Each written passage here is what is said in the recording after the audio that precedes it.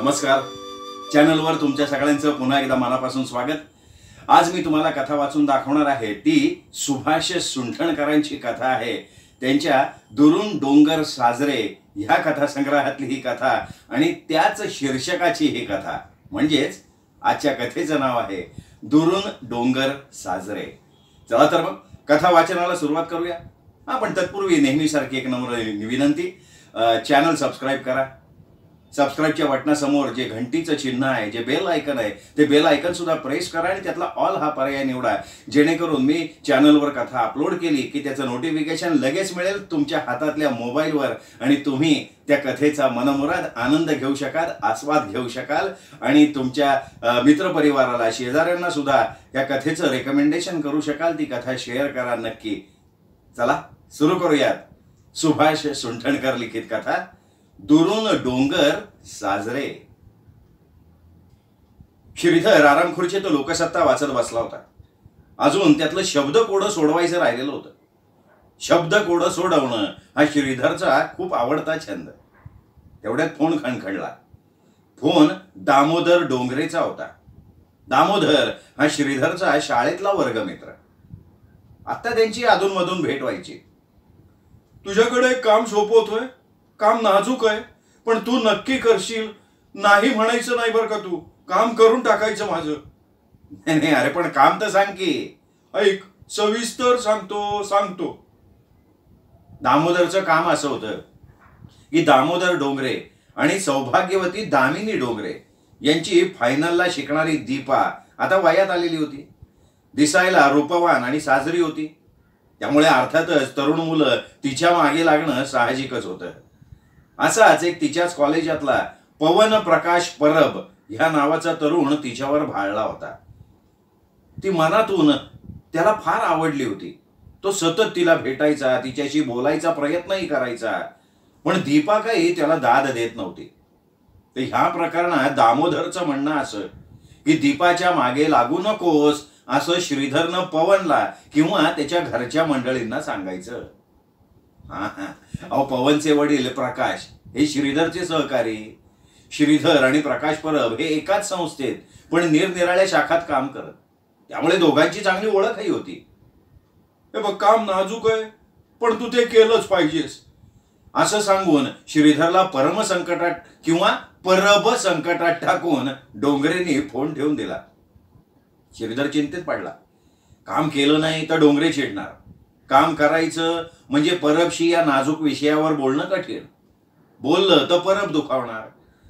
त्याचा वचपा तो ऑफिसमध्ये काढू शकेल.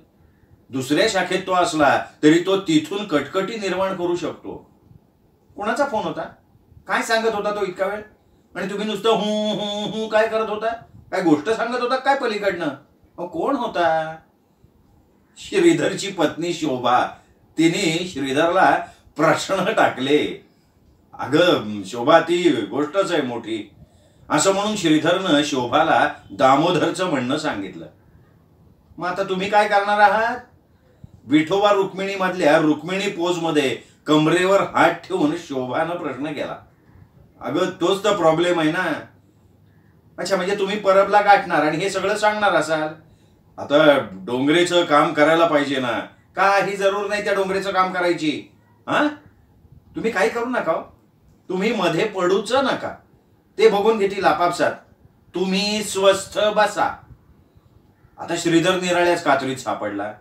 डोंगरे म्हणत होता काम केलं पाहिजे. बायको म्हणत होती स्वस्थ बसा. शेवटी त्याने घरातलं स्वास्थ्य टिकवायचं असं ठरवलं आणि तो स्वस्थ बसला. असे दोन तीन दिवस शांततेत गेले. मध्ये काही घडलंच नाही. आणि एके दिवशी पुन्हा फोन खणखणला. अहो तुमच्या त्या डोंगरेचा फोन असणार. मी अजिबात भानगडीत पडणार नाही सांगून टाका त्याला. तुझं तू निस्तर म्हणा शोभानं निक्षून सूचना दिली. आता हे डोंगरेला कसं सांगायचं याचा विचार करत श्रीधरने फोन उचलला. त्यानं सगळं धैर्य एकवटलं. पलीकडनं आवाज आला हॅलो हॅलो मी प्रकाश परब बोलतोय रे. हा? बर बर बोला. श्रीधरला सौम्यचा धक्का बसला. तसा तो सावध होता. अरे तुला एक विनंती करायची म्हणतोय रे. म्हणजे विनंती करू का नको करू याचा विचार करतोय मी. तुझ्याकडे एक काम सोपवायचं म्हणतोय रे. पण काय आहे ना माझं मन तयार होत नाही रे. नाही नाही, अरे बोल की बोल. काय काम आहे? तुझा तो मित्र आहे ना दामोदर डोंगरे. त्याची मुलगी आहे. तिचं नाव दीपा. हो मला माहिती आहे ते. श्रीधरचा सावध पवित्रा. तुला कसं सांगावं ते समजत नाही रे. पण तुला एक विनंती करतो हा. अरे कर की कर कर. तर त्या दीपावर ना हो त्या दीपावर आमच्या पवनचं पवनचं रे आमच्या आमचा पवन आहे ना मुलगा तर त्या पवनचं तर दीपावर त्या पवनचं प्रेम बसलंय रे. तिचं सुद्धा पवनवर मन जुळतंय असं म्हणतोय पवन बर का? अरे बापरे. श्रीधरच्या डोळ्यासमोर पुढचं संकटच उभं राहिलं. हो रे. अरे बापरे बाणायसारखीच गोष्ट आहे रे. प्रेम जुळवायला या तरुणांना आता बाप लागतोय बघ. आमच्या वेळी असं काय नव्हतं रे. प्रेम भीम नव्हते नाही का रे? हा मुद्दा काही श्रीधरला पाटला नव्हता पण. अहो त्यावेळी सुद्धा श्रीधरची शेजारीण कुसुम मारवाड्याच्या पोरवाल बरोबर पळून गेली होती. समोरची शकुंतला इस्माईल अहमदचा हात धरून पळून गेली होती. श्रीधरच्या काकांचा सुद्धा काकी बरोबर प्रेमविवाह झाला होता. घरातून पळून जाऊन वगैरे रितसर तर माझी काय विनंती आहे रे तुला? हे दोघंही तयार असल्यामुळे ना पुढची कामं तुझ्यावर सोपवावीत का काय? असा विचार करतोय बरं का मी. नाही नाही घाई काय नाही बरं का? घाई नाही. तुला सांगायचं माझ्या जीवावर येतोय रे. दीपाचा नाद सोडायला पवनला सांग. असं परबला सांगणं श्रीधरच्या जीवावर आलं. काय बोलावं? हे श्रीधरला सुचे ना हे काय करता येईल तुला सांगतो हा? त्या डोंगरेकडे फेरी मार रे. सहज सहज म्हणजे गप्पा मारता मारता हा विषय काढून टाक. त्याचं काय मत आहे? हे कळेल ना आपल्याला. श्रीधर मनात म्हणाला त्याचं मत मला आत्ताच माहिती आहे. मग मी तुला त्रास देतोय थोडा. मी आठ दहा दिवसानंतर तुला फोन करतो. ठीक आहे? असं म्हणून प्रकाश परबने फोन ठेवून दिला. फोन खाली ठेवताच श्रीधरला शोभाने विचारलं.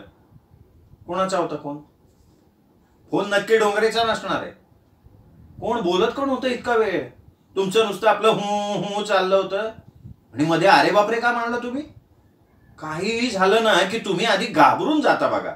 घाबरायचंय कशाला? तो काय तुम्हाला खाणार आहे? माणसं माणसांना खरंच खाऊ लागली तर काय होईल? असा विचार श्रीधरच्या मनात चमकून गेला. माणसाच्या मटणाची चव कशी असेल? हॉटेलात केलेले पदार्थ म्हणजे मक्खनवाला आदमी Mughlai woman fry male female mix मसाला man keema man liver fry हे पदार्थ चवीला कसे लागतील? ते स्वस्त कुठल्या हॉटेलात मिळतील? त्याच्यावर रस्सा मोफत देतील का? सगळे प्रश्न त्याच्या डोक्यात चमकायला लागले. मग कुठल्या तंत्रीत तुम्ही? फोन कोणाचा होता सांगा की? अगं त्या प्रकाश परबचा. अगं बाई प्रकाश परब? म्हणजे तो पवनचा बाप? काय म्हणाला काय तो? मग प्रकाश परब काय म्हणाला हे श्रीधरने शोभाला सांगितलं. आता काय करणार आहात तुम्ही? रुक्मिणी पोजमध्ये शोभा. अगं तोच प्रॉब्लेम आहे ना. प्रॉब्लेम तुम्हालाच कसे पडतात तो आता डोंगरेचं काम करायची गरज नाही स्वस्थ बसायचं हे आपलं आधी ठरलंय का नाही? ते विचारलं नाही. मग परबच्या बाबतीत काय करणार? परबला काय उत्तर देणार? परबला ते परबला म्हणजे मी ते डोंगरेचं म्हणणं मी त्याला त्याला सांगणार डोंगरेचं म्हणणं? मग काय करायचं? काही गरज नाही. परब म्हणतोय तसं करून टाका. ती दीपा कार्टी सुद्धा त्याच्यावर फिदा असणार. म्हणजे पवनवर. दोघांचं जमवून टाका. डोंगरे पहिल्यांदा करतील नाटक नंतर मुलीचं आयतं जमतंय असं म्हटल्यावर टाकतील जमवून. हे बघा मी उद्या लग्नासाठी माहेरी जाणार आहे. आठ दिवसांनी येणार आहे. तेवढ्यात बघा जमवून टाका. स्वस्थ बसू नका. आता आधी स्वस्थ बसा असं म्हणणारी शोभा त्याच प्रकरणात. स्वस्थ बसू नका. असं म्हणत होती. व श्रीधरच्या पुढ्यात डोंगरा एवढं संकट उभं राहिलं. दुसऱ्या दिवशी शोभा माहेरी गेली निघून. शुक्रवारची सकाळ. श्रीधर ऑफिसला जायच्या घाईत. ऑफिसातली साचलेली कामं संपवावीत म्हणून तो आज लवकर निघणार होता. आणि अचानक दामोदर डोंगरे आणि दामिनी डोंगरे श्रीधरच्या घरीच हजर झाले. काय केलं रे माझ्या कामाचं? तो परब तुझ्या ओळखीचा म्हणून ते काम तुला सांगितलं मी. लवकर सांग रे बुवा त्याला. नाही म्हणजे त्याचं असं आहे सोडू नका त्याला. सोडू नका. स्पष्ट सांगा. दीपाच्या मागे लागतो म्हणजे काय बाई? हा? बाई बाई बाई बाई बाई. शोभतं का त्याला हे? शोभतं का? दामिनी डोंगरे बोलायला सुरुवात झाली. नाही त्याचं काय झालंय वैर? जास्त आवाज करू नको म्हणून सांग त्याला. बाई बाई बाई बाई बाई. त्याला म्हणा तुझं नाव पवन असलं ना तर गेलास उडत. नाही मी ते पवनच्या वडिलांना पुन्हा दीपाबरोबर बोलायचा प्रयत्न केला तर तंगडी तोडून हातात देईन म्हणून सांगा त्याला. हं. मग कसा लंगडत लंगडत चालेल ना तेच बघते मी. लंगडत फिरू दे नाही तर कुबड्या घेत फिरू देत मेल्याला अहो प्रत्येकाचं काहीतरी म्हणणं असतंच ना. हो, मग आमचंही तेच म्हणणं आहे ना.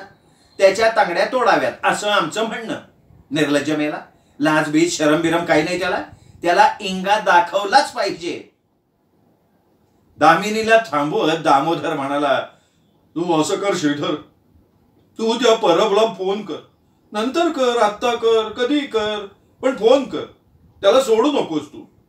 तेवढ्यात आतल्या खोलीत फोन खणखणला. शोभाचा असेल फोन घेऊन येतो. असं म्हणून श्रीधर आतल्या खोलीत गेला त्यांनी फोन घेतला.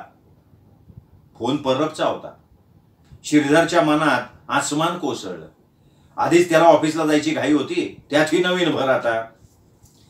मी तुला मध्यंतरी काम सांगितलं होतं. लक्षात असेल ना तुझ्या? नाही, पुन्हा पुन्हा तुला आठवण करायची म्हणजे मला कसंच होत आहे रे काम लक्षात आहे माझ्या. श्रीधर अगदी हळू आवाजात फोनवर बोलला. नाही तुला जेव्हा सवड मिळेल तेव्हा भेट होत्या डोंगरेंना. खरं म्हणजे मध्यस्थाची भूमिका अवघड असते. मला कल्पना आहे बरं का त्याची. फार अवघड फार अवघड.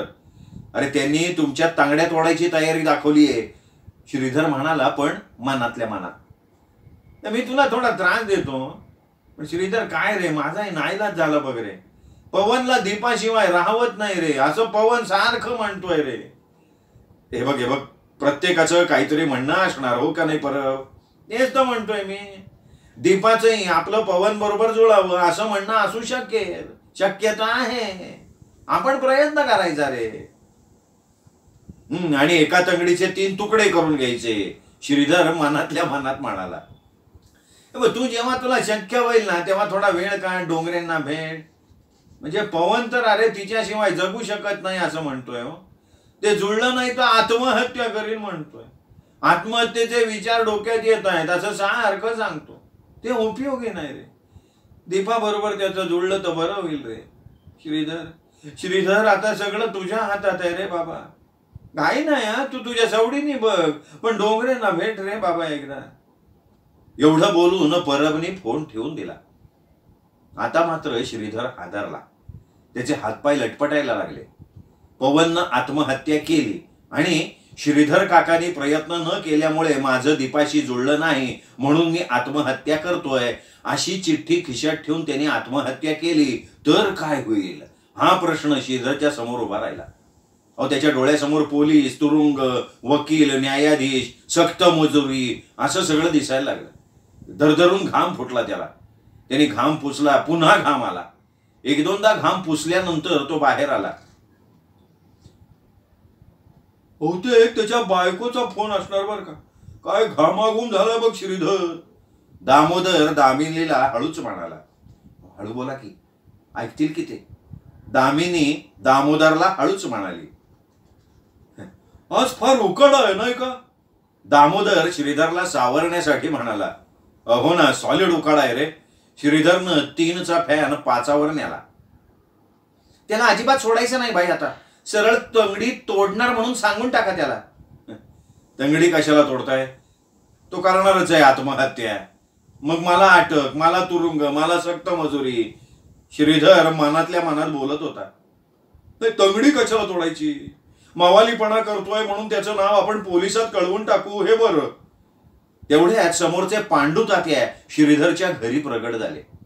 ते समोरच्या खिडकीतून श्रीधरच्या घरातल्या बऱ्याच गोष्टी ऐकत असत. ऐकत ते ऐकत आणि गप्प बसत नसत. लुडबुड करायची त्यांना सवय होती. काय श्रीधर पंत? लाइट गेले काय तुमच्या घरातले? पांडू तात्यांनी उगाच विचारलं. लाइट? आहेत की? हे काय? पंखा फिरतोय की आमचा? आमच्याकडच्या लाइट गेलो पांडू तात्यांनी थाप ठोकली. समोरच्या खुर्चीवर बसायचा पांडू तात्यांचा विचार होता. पण बसा म्हणायला श्रीधर काही तयार नव्हता. मग ते तिथेच रेंगाळले. बर निघू का? हो निघा निघा. पांडू तात्या नाईलाजानं निघून गेले. सरळ तंगडी तोडली पाहिजे त्याची. पोलिसात देऊ पोलिसात देऊ. वटणीवर येईल तो. दामोदरनं दामिनीला शांत करण्याचा प्रयत्न केला. भवनची तंगडी आपण तोडू शकत नाही हे दामोदरला माहिती होतं. तंगडी तोडणाऱ्या कुठल्याही दादाची आपली ओळख नाही याची त्याला जाणीवही होती. ओळख काढून जरी एखाद्या दादाला कॉन्ट्रॅक्ट दिलं तर तो पैसे मागणार हे नक्की. एन एस सी किंवा किसान विकास पत्रामध्ये त्याला पैसे गुंतवायचे असल्यामुळे तंगडी तोडण्यात पैसे खर्च करायला दामोदर काही तयार नव्हता. एक तंगडी तोडायची तर दादाचा ठराविक दर असणार दोन तकड्यांना दुप्पट दर असणार कदाचित थोडीशी सवलत मिळेल. त्यापेक्षा पवनचं नाव पोलिसात कळवलेलं बरं. आपल्याला खर्च नाही. काय खर्च येईल? तो त्या पवनला खर्च येईल. येऊ द्या. पोलीस पवनला सतावत राहतील. पवनकडून पैसे उकळत राहतील. आपल्याला काही खर्च नाही. आणि आपण पोलिसात तक्रार नोंदवल्यावर पोलिसांनी काही केलं नाही तर? नाही तर नाही. काय बिघडतोय? आपलं नाव पोलिसात गेलं एवढं तरी पवनला समजलं की बस. पोलिसात नाव कळवायचं मात्र काम श्रीधरवर सोपून टाकायचं. काय नाही काय नाही काय नाही. तंगडी तोडली ना की तो लगेच वटणीवर येईल बघा. तुम्ही असं करा त्या पवनला फोन करा. आत्ताच करा आणि विचारा त्याला जा आता त्याला फोन करू. श्रीधरची जीभच कोरडी पडली. हो आत्ता करा. श्रीधरला ऑफिसला जायची घाई होती. तसं त्यांनी दामोदर दामिदी यांना सांगितलं. म्हणाला संध्याकाळी सवडीनं फोन करतो आता घाईघाईत नको. मग डोंगरे कुटुंब घरी जायला निघालं. जाता जाता म्हणाल संध्याकाळी मात्र फोन कर बर का मित्र चांगलं खडसाव त्याला. डोंगरे जाताच टपून बसलेले पांडू तात्या पुन्हा प्रगट झाले. काय चालली होती तंगडी तोडायची भाषा? आपल्याला घाई असताना मध्येच टपकलेले पांडू तात्या उचापती करत बसणार. हे ओळखलं श्रीधरनी. आणि तो पटकन म्हणाला नाही नाही काही नाही हो काही नाही. नाही सांगायचं नसेल तर सांगू नका. मला काय करायचंय घेऊन म्हणा. पण एक जोडपं तुझ्या तांगड्या तोडायला आलं होतं. हे मी शोभाच्या कानावर घालणार नक्की. तेवढा शेजार धर्म मला पाळला पाहिजे नाही का? श्रीधरला हा ब्रह्मांडच आठवलं. पांडुतात्या स्वतःला फारसं माहीत नसताना शोभाला काय काय सांगून ठेवतील ह्या कल्पनेनं त्याला घाम फुटला. पांडू तात्यांचा रागही आला. तरीही तो शांतपणे म्हणाला हे बघा तात्या मी ऑफिसला जायच्या घाईत आहे. आधीच मला झालाय उशीर. ते काही माझ्या तांगड्या तोडणारे नव्हते. तुम्हाला काय घडलंय ते संध्याकाळी सांगेन हा? चला निघू का मी आता? चालेल चालेल. पण कुणाच्या तांगड्या बिंगड्या तोडायच्या असतील तर मला सांगा. माझ्या ओळखीचा एक भरमा खाटीक आहे. त्याला सांगून टाकू स्वस्तात तोडून देईल तो तांगड्या. भाडे करूला हकलायचं असेल ना तर मालक लोक हल्ली भरमालाच बोलवतात. फेमस आहे फेमस हो. जाता जाता पांडू तात्या सांगून गेले. श्रीधर ऑफिसला निघून गेला. डोंगरे परब या प्रकरणाला कसं तोंड द्यायचं? त्याच विचारात श्रीधरचा अख्खा दिवस गेला. पवनला आत्महत्येपासून वाचवा विरुद्ध पवनच्या तांगड्या तोडा. अशा झगड्यात तो आता अडकलेला होता. कुरुक्षेत्रावरच्या अर्जुनाप्रमाणे त्याची स्थिती झालेली होती. योग्य संदेश द्यायला तिथे भगवान श्रीकृष्ण मात्र नव्हते. दुसऱ्या दिवशी सकाळी दामोदरचा फोन आला. ताबडतोब आमच्या घरी ये. श्रीधरनं आपण घाईत असल्याचं सांगून दामोदरला कटवून टाकलं. पण पंधरा मिनिटात दामोदर आणि दामिनी श्रीधरच्या घरी हजर झाले. श्रीधर त्यांना म्हणाला खरं म्हणजे मी काल परबला फोन करत होतो पण त्याचा फोन लागत नव्हता. म्हणजे रिंग होत होती फोन कोणी उचलत नव्हतं. आज मी फोन करणार होतो पण त्याची जरूर नाहीये. म्हणजे? अहो चार गुंडांनी दीपाचीच तगडी तोडली काल. पवनचंच काम आहे हे. हा श्रीधरच्या अंगावर एक मोठा बॉम्बच पडला. काय सांगताय? दीपाची तंगडी तोडली? काय सांगताय काय? मग दामोदर आणि दामिनीनं मिळून जे सांगितलं त्यावरून श्रीधरला असा अर्थबोध झाला की दीपा बाहेरच्या खोलीत अभ्यासाला बसली होती. बाहेरून शिट्टी वाजल्याचा आवाज आला म्हणून ती लगबगीनं रस्त्यावर गेली. पण ती रस्त्यावर पोहोचण्यापूर्वी घराच्या कंपाऊंड जवळ तीन चार गुंडांनी तिच्या पायावर काठ्या मारल्या आणि ते पळून गेले. ताबडतोब दीपाला दवाखान्यात नेलं डॉक्टरला दाखवलं बारीकसं फ्रॅक्चर असावं असं डॉक्टर म्हणतोय. सध्या घरच्या घरी फिरायला डॉक्टरांनी परवानगी दिली आहे. कुबड्यांची काही गरज नाही असंही डॉक्टरांनी सांगितलंय. हे पवनचंच काम आहे मी सांगते. बाई बाई बाई बाई बाई तंगडीच तोडून टाकायची म्हणजे काय? अगं पवनचं असेल असं नाही. दुसरं कोण करणार मग असलं जळला मेला तोच असणार. त्याला आत्ताच्या आत्ता इथे बोलवून घ्या. श्रीधरच्या पोटातच गोळा आला. त्याला दरदरून घाम फुटला. अगं पवन नसणार तो मी सांगतो तुला. होय हो. पवन नसणार तो बर का. श्रीधरनं लगेच दामोदरला पाठिंबा देऊन मोकळा झाला. नसणार काय? नसणार काय? तोच आहे. तोच आहे. बोलवा. बोलवा त्याला. बोलवा. तो दूध दूधवाला आल्यानं भांड घेऊन श्रीधर बाहेर गेला. दूध घेता घेता त्याच्या कानावर दामोदरची वाक्य पडली. दामोदर हळू आवाजात दामिनीला सांगत होता. हे बघ हे काम पवनचं नाहीये. अगदी नक्की. मी सांगतो. मी सांगतो ते समीर सबनीसचं काम आहे. दीपा समीरच्या मागे लागली असणार. समीर तिसऱ्याच कोणाच्या तरी मागे लागलाय. दीपा आपल्या मागे लागली हे काही त्या समीरला आवडलेलं नाही. त्यांनी काटा काढलाय. आता तूच बघ की बाहेरून शिट्टी मारल्यावर ती भराभरा रस्त्यावर का गेली? समीर समजून गेली ना ती? दुधाचं पातेल आत ठेवून श्रीधर येताच दामिनी म्हणाली दुसरं तिसरं कोणी नाही हो. पवनचंच काम आहे हे. अगं पण ऐक ना पवनच तो तंगडी तोडतो म्हणजे काय? आत्ताच्या आत्ता बोलवा त्याला. जा विचारते मी इथे त्याला. मग दामोदरचाही नाईलाज झाला. दामिनीच्या सांगण्यावरून श्रीधरला पवनच्या घरी फोन करावाच लागला. पवननं फोन घेतला तेव्हा पवन घरी एकटाच होता. श्रीधरनं त्याला फोनवरून घडलेली हकीकत सांगितली. मग पवन म्हणाला श्रीधर काका माझं दीपावर मनापासून प्रेम आहे. मी कशी तिची तंगडी तोडीन? तिची तंगडी तोडलेली ऐकून माझ्या मनाला असंख्य आणि असह्य वेदना झाल्या खरं म्हणजे मी तिच्या घरी किंवा दवाखान्यात म्हणजे ती जिथे असेल तिथे तिला जाऊन भेटणं आवश्यक आहे. पण तिच्या घरच्यांना ते आवडत नसेल तर मी माझ्या मनाला आवर घालतो. कारण ते मला सासू सासऱ्यांप्रमाणे पूज्य आहे. दीपाला कसा विसरू मी? कसा विसरू? तिला विसरण्याचा प्रयत्न केला तर मला तिची जास्तच आठवण येईल. तसं पूर्वी मुकेशनी सुद्धा एका गाण्यात म्हणून ठेवलंय माझ्या घराची दारं तिच्यासाठी सताड उघडी आहेत काका. आणि आता तुम्ही तुमच्या घरी मला बोलवताय. काय करू मी तिथे येऊन? मी तिची तंगडी. माफ करा. मी तिचा पाय तोडलेला नाही. मग मी तिथे येऊन करू काय? आणि डोंगरेंना जर माझी तंगडी तोडायची असेल तर तुम्ही त्यांच्या मनाची समजूत काढा काका. तंगडी तोडणाऱ्याला तंगडी तोडण्यानं उत्तर देणं बरं नाही म्हणून सांगा. पटवून द्या त्यांना. अहो आपण सगळी ईश्वराची लेकरं. आपण सगळे एकमेकांच्यावर प्रेम करूया. मी दीपावर प्रेम करतो. दीपा माझ्यावर प्रेम करू दे. हे प्रेम असंच वृद्धिंगत होऊ दे. दीपाचा पाय लवकर बरा होऊ दे. हीच माझी प्रार्थना. एवढी प्रार्थना करून पवननं फोन ठेवून दिला. आता हे सगळं डोंगरे दाम्पत्याला कसं सांगायचं? असा प्रश्न श्रीधरला पडला. आता प्रेसी रायटिंग किंवा सार लेखन तो शाळेत शिकलेला असला तरी ते इथे कठीण आहे हे त्याला जाणवलं.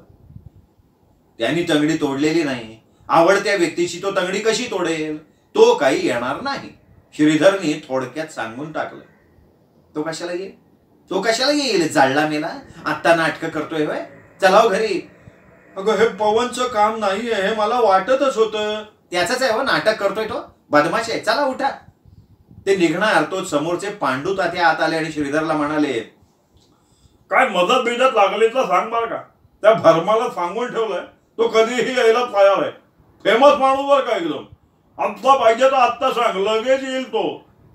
श्रीधरनं पांडुदात्यांना भराभरा बाहेर नेऊन ते प्रकरण आता संपलंय. आता भरमाची गरज उरलेली नाही. मी तुम्हाला सगळं नंतर सांगतो. असं हळू आवाजात त्यांना सांगितलं आणि त्यांना कटवलं. पाठोपाठ डोंगरे दाम्पत्य उठलं निघून गेलं. श्रीधरने हुश्य केलं. त्याला आठ दिवस झाले. मध्यंतरी शोभा माहेरून परत आली. एक दिवशी दामोदर डोंगरे एकटाच आला आणि सांगायला लागला आता पाय बरा आहे बरं का दीपाचा? ती व्यवस्थित चालते व्यवस्थित फिरतोय. दामिनीनं उगाच पवनवर आरोप करतोय. पण मी म्हणत होतो ना तसंच झालंय. दीपाचा पाय तोडण्यात पवनचा हात नाही. दुसऱ्याच कोणाचं तरी काम आहे ते. श्रीधर मनातल्या मनात म्हणाला मला माहिती आहे समीर सबनीस ना? हे बघ दामिनीने उगाच पवनवर आरोप केले. ते जाऊ दे. आमच्या दीपाचं काय झालंय हे तुला सांगतो. ती बाहेरच्या खोलीत अभ्यासाला बसते. तिथे तिचा अभ्यास होत नाही रे. बाहेरून जर कुणी शिट्टी मारली तर तिचं लक्ष जातं बाहेर. आपण शिट्टी कोण मारणार? असंच आपलं कुणीतरी मारतोय शिट्टी कुणी? हो. कधी कधी ट्रॅफिक पोलीस शिट्टी मारत जातात तिथनं. तुमच्या घराकडे कुठले आले ट्रॅफिक पोलीस? तुमचं घर किती आतल्या रस्त्याला आहे? कधीतरी असं म्हणालो. लेका त्यापेक्षा समीर सबनी शिट्टी मारतो. सरळ सांग की मला. समीर तुमच्या घरासमोरून फेऱ्या मारतो हळू शिट्ट्या मारतो मग दीपा पटकन रस्त्यावर जाते. सगळं माहिती आहे मला. मला काय दूधखोळा समजतो का? श्रीधर मनातल्या मनात म्हणाला अच्छा अच्छा त्या शिट्ट्यांमुळे अभ्यासात डिस्टर्ब होतो का? हो ना मग अभ्यास होत नाही. अभ्यासाचं महत्वाचं वर्ष आहे. आणि लग्नाचं सुद्धा आहे की तिच्या? गप तिचं लग्न समीर बरोबर नाही तर पवन बरोबर करून टाक. दोघेही हातात फुलांचा हार घेऊन तयार आहेत. कुणाबरोबर करायचं? याच्यासाठी टॉस उडवूयात पाहिजे तर. श्रीधर परत मनातल्या मनात म्हणाला नाही म्हणून मी एक युक्ती काढली बरं का. परत श्रीधरच्या मनातल्या मनात संवाद चालू झाला. तो म्हणाला तुझी युक्ती माझ्या अंगलट आली नाही पाहिजे बरं का. कुठं तंगडी तोड कुठं पोलिसात कळव असलं काही सांगू नको बाबा मला. पण उघड म्हणाला युक्ती आहे का? बरं सांग ना मग सांग. दीपाला तुमच्या घरी अभ्यासाला पाठवायचं. तुमच्या घरी अभ्यासाची स्वतंत्र खोली आहे. कसलाही डिस्टर्बन्स नाही. तिचा अभ्यास शांतपणे होईल बघ तुझ्याकडे. श्रीधरच्या डोक्यात कोणीतरी संकटांचं मुसळ मारल्याप्रमाणे झालं. त्याच्या डोक्याला टेंगूड आलं. आमच्या घरी श्रीधर समोर शोभाचे वाटारलेले डोळे उभे राहिले. तरी बरं ती आत होती. हो ना तिचं महत्वाचं वर्ष आहे रे कॉलेजचं मग ती कॉलेजच्या लायब्ररीत का नाही बसत अभ्यासाला? मध्ये मध्ये ती कॉलेजच्या लायब्ररीत अभ्यासाला बसते रे. पण तिथे सुद्धा काय होतं? तिथे कधी कधी पवन येऊन बसतो अभ्यासाला. म्हणून सगळं कठीण वाटतंय रे. नक्की पवन एकटाच का इतर कोणी? शिरधरच्या डोळ्यासमोर समीरचा काल्पनिक चेहरा उभा राहिला. त्यांनी समीरला बघितलेला नव्हता ना. आता वर्गातली इतर मुलं मुली सुद्धा असतात म्हणा. म्हणून म्हणून रिक्वेस्ट दीपा तुमच्या घरी अभ्यास करू देत रे. अभ ब ते ब नाही विचार करून ठेव. मी येतो दोन दिवसांनी. असं म्हणून दामोदर निघून गेला. काय म्हणत होता दामोदर? शोभाने लगेच बाहेर येत विचारलं. श्रीधरनं दामोदरचं म्हणणं सांगून टाकलं. मग? तुम्ही काय ठरवलंय? शोभा रुक्मिणीच्या पोजमध्ये. आता काय ठरवणार अगं? संकटच आहे. सदा संकट तुमच्या समोरच कशी येतात हो? काही संकट बिंकट नाही. तुम्ही काय ठरवलंय? आता संकट कशी येतात याचं उत्तर श्रीधरकडे होतं.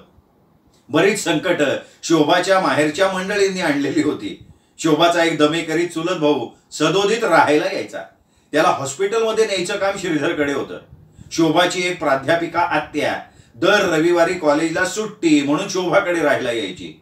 सोमवार ते शनिवार ती कॉलेजात मस्टर रोलवर सही करायची. रविवारी तिचं मस्टर रोल श्रीधरच्या घरी असायचा.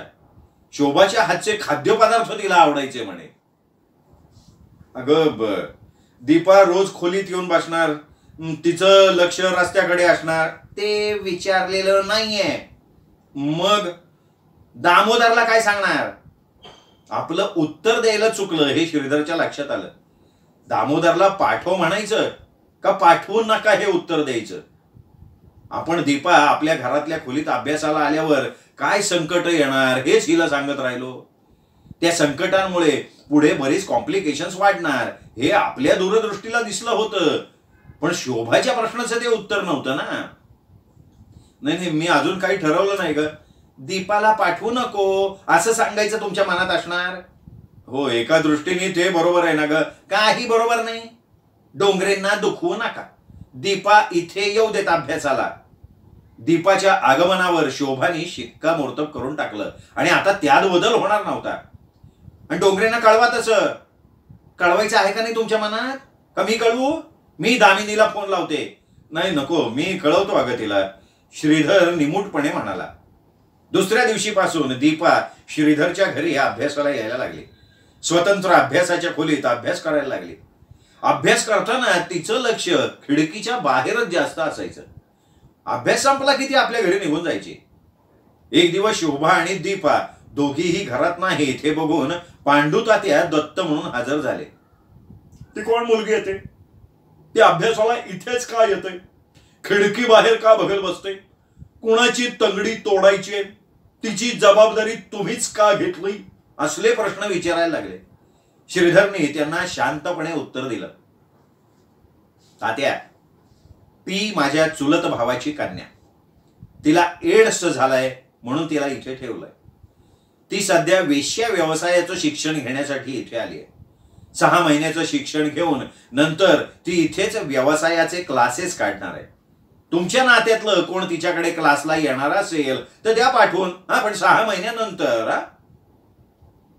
तात्या फार मोठ्या संभ्रमात पडून काहीही न बोलता तिथून निघून गेले. आठ दिवसांनंतर. शोभा आणि दीपा घरात नसताना कधी नव्हे तो अचानक प्रकाश परब प्रगट झाला. इतर हवा पाण्याच्या गप्पा मारून झाल्यावर परब मूळ विषयावर आला. खरं म्हणजे मी आता तुला सांगायला आलो आहे ते सांगावं का नाही ह्या बाबतीत संभ्रम आहे थोडा. पण नाईलाज आहे म्हणून सांगतो. मी तुझ्याकडे काम सोपवावं म्हणतोय. सोपवावं का नाही? हा सुद्धा प्रश्न पडलाय हो. नाही ठीक आहे ना आधी काम तर सांग ना. नाही कंपल्सरी नाही हो. पण तू केलंस तर माझ्यावर उपकार होतील हो. नाही नाही म्हणू नको रे. काय झालंय? म्हणजे आमच्या पवनचं तुला माहिती आहे. दीपा त्याच्या मनात भरल्यामुळे त्याचं झालंय अभ्यासाकडे थोडं दुर्लक्ष. अभ्यास होतच नाही त्याचा. मग मी ज्योतिषाचा सल्ला घेतला. ज्योतिषी काय म्हणाला? ज्योतिषी म्हणाला तो नक्की पास होणार. पण स्थान पालट आवश्यक आहे. त्या खोलीत त्याचा अभ्यास होणार नाही. दुसऱ्या एखाद्याच्या घरात किंवा दुसऱ्या एखाद्या खोलीत त्याने अभ्यास केला तर त्याची प्रगती भरघोस होईल. आता आमच्या घरात दुसरी खोली नाही रे. किंवा माझी तुला नम्र विनंती आहे तुझ्या खोलीत तो अभ्यासाला बसू दे.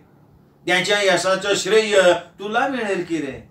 तुझ्याकडे स्वतंत्र खोली आहे अभ्यासाला म्हणून तुला विनंती हो. नाही म्हणू नको. मग विचार करून ठेव. हो. दोन तीन दिवसात सांग. मी निघतो आता हो. कर विचार कर आणि सांग हो. असं सांगून परब निघून गेला आणि श्रीधर आ वासून बघतच राहिला.